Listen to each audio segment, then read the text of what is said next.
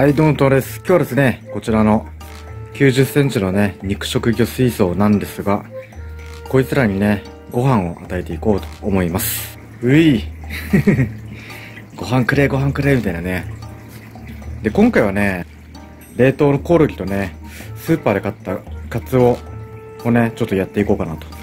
最近ね、何種類もね、えー、ローテンションで様々なご飯をね、与えているんですが、何種類もやっぱりね、そのローテンションで回してると、人工飼料食べなくなっちゃって、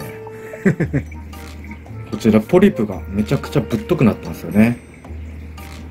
で、こいつもね、あんまり、なんだろう、好き嫌いが激しい性格してるんですけど、虫がめっちゃ好きで、コオロギとかリュピアとかワームめっちゃ食います。こいつはね、こいつは何でも食うね。こいつは。僕はね、そのジップロックのね、あの袋に冷凍コオロギを突っ込んでね、水を張ってね、解凍してます。で、結構ね、あのー一粒がでかいんですよね。こ、こいつらのさ、虫に対する食欲が半端ないから、ほんと1回で50匹とか、マジでなくなっちゃうんですよ。もう本当に、秒速でなくなる。ふっ速攻だからね、マジで。もうね、みんなまとめてやろうと思います。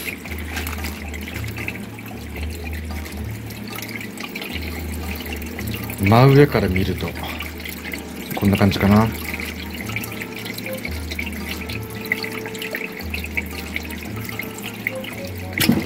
ういし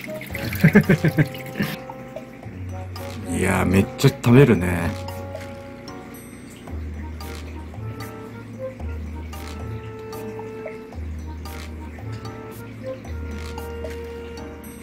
やばい、もう、もう、もうなくなった？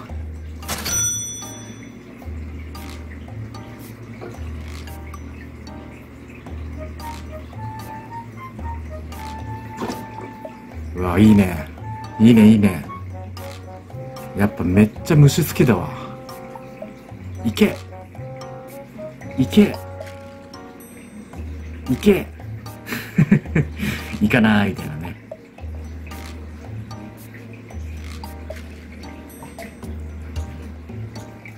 おっと、ここでバトルか？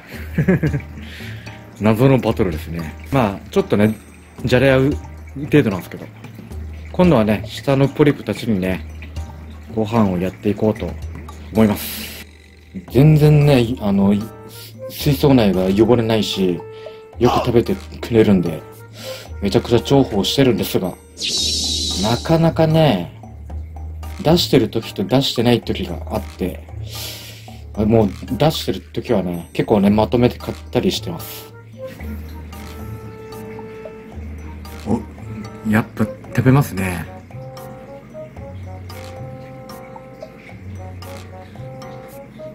最近ポリプの食欲が半端ないんだよな、本当に。人工飼料だろうが何でも食べますね。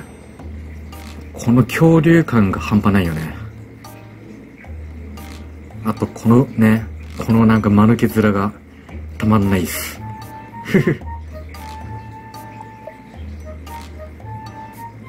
いいね。丸飲みっすからね、こいつなんて。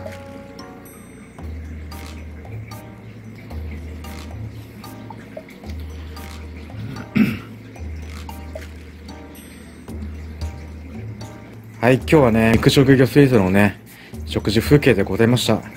またね、別の動画ではね、漫画紹介とかやってますんで、そちらの方もね、ぜひチェックの方よろしくお願いいたします。